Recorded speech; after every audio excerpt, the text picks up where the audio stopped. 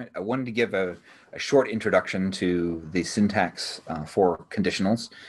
Conditionals operate just as they do in lots of other languages. So we have a, a, a standard if then else uh, type of a structure. There's also a notion of else if. Um, the caveat is that Python does not surround blocks of code uh, with things like curly brackets. And instead, uh, Python infers what the block is uh, using the indentation level of, of the code. And, and this takes a little bit of getting used to initially, uh, but in the end, it, it works out quite well. All right, I already have a new notebook uh, created here.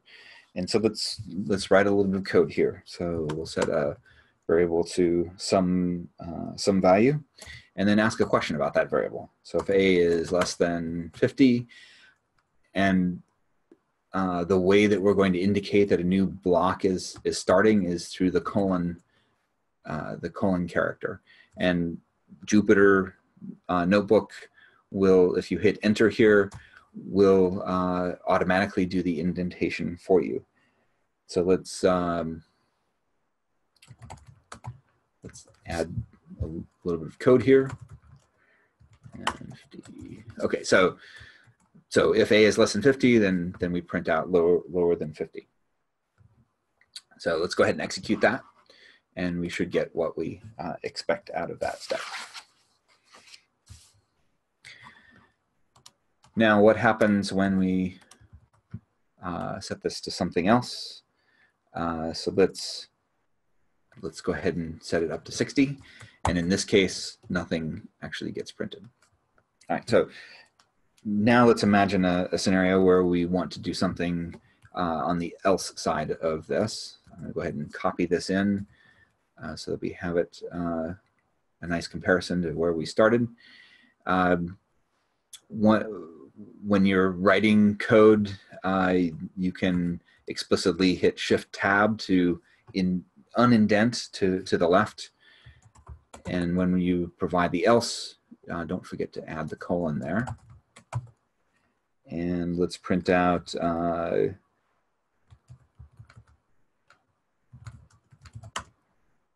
or equal to, to 50.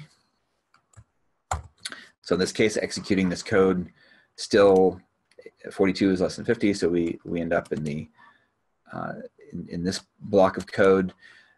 Uh, if we are at 60 and I execute again, then, then I get the else case. Uh, just to demonstrate how blocks work, uh, let me add one more line of code within this, uh, this block here.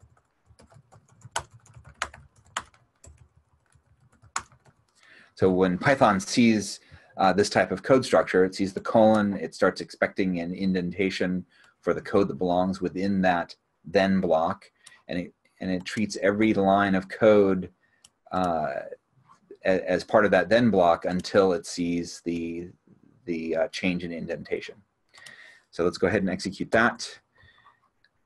We, we end up with the else branch, but if we go to the other side, then you'll see that uh, both of the, the prints are executed in that case.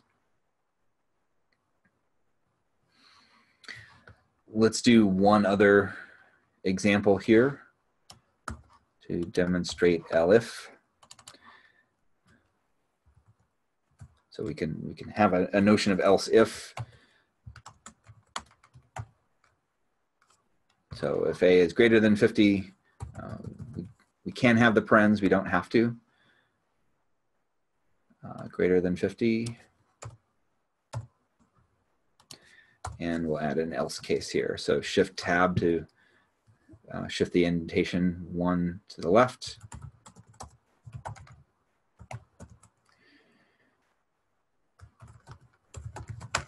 And we're equal to 50 in that case. Uh, you can also, in this state, I'm going to add one more line of code here that's outside the if uh, else block. Uh, if you hit backspace, it will also eat the, that uh, indentation. So, oops. So, so by indenting things this way, this line of code is going to be executed no matter which case we're actually in. So go ahead and execute that. We end up with uh, this block of code uh, being executed, and then you'll see the done is also executed.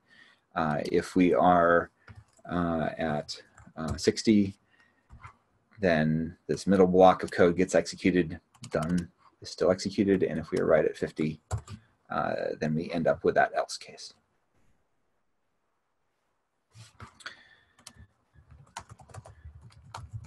Okay, so, so let's also talk about uh, conditionals and strings. And in, in C, uh, conditionals and strings are a little bit uh, cumbersome in that we have to explicitly call library functions in order to ask questions about strings. Uh, in Python, not unlike what we see in modern versions of Java, uh, it, it handles uh, a lot of the, uh, the testing uh, for us rather than having to explicitly write out library calls. So let's do a quick example of that. So assigning a, a variable str to, to foo, and then, and then we'll ask a question uh, about that.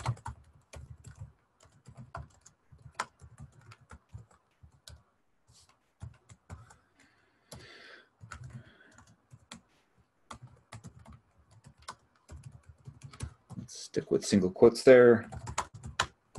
It's foo, else, and uh, this is something else.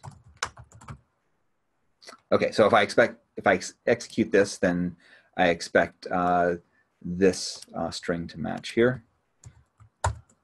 And, and there we go. Uh, if I add uh, something else uh, to the end of my string, uh, then the other branch will be executed.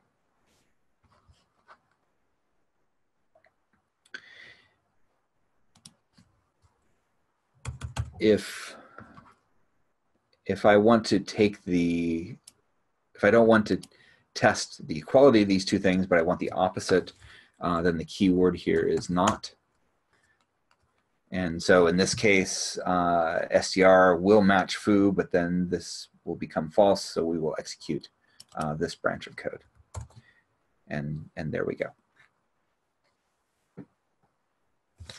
So this wraps up uh, conditionals, uh, and, uh, and we'll move on from here.